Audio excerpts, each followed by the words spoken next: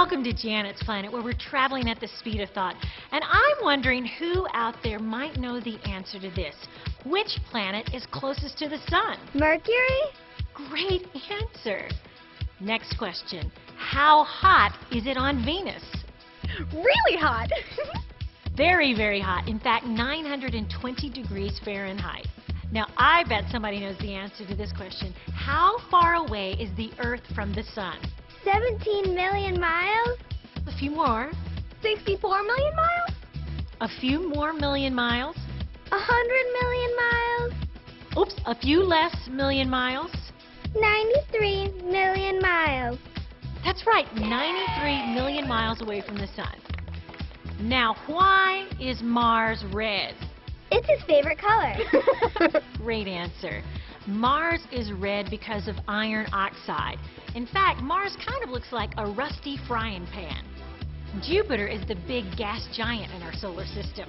But can anybody tell me what the rings of Saturn are made of? Onion rings. The rings of Saturn are made of ice, snow, and little rocky things. I have heard from many of you, and I know you're disappointed that Pluto is no longer considered a real planet. The International Astronomical Union voted in 2006 that to be called a planet, you have to meet at least three criteria. First of all, you have to orbit the sun, and then you have to have sufficient enough mass so that you assume a hydrostatic equilibrium.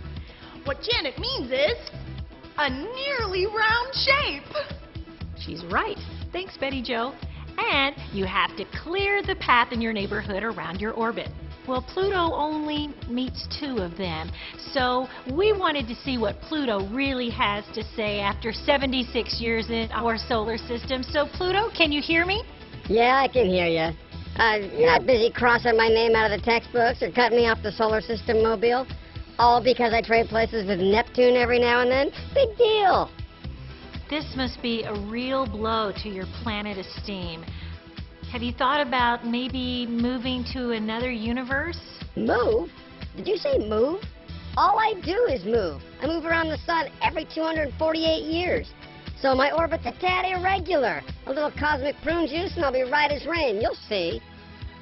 Pluto, Pluto, come back, come back. Uh, uh, We still love you. I mean, we know you're a little icy around the edges, but we still have a warm spot for you. Hmm. You know what I think? I think what would make Pluto feel really good is if we were to send him a card to cheer him up. Did somebody say cheer? P L U T O. It's time for you to fly solo. P L U T O. I love you and I'll never let you go. I think we should all do the cheer with Betty Joe. P-O-U-T-O, it's time for you to fly solo. P-O-U-T-O, I love you and I'll never let you go. Wow, thanks for helping me pull my orbit together. Ha! The Janet Planet, she's a galactic.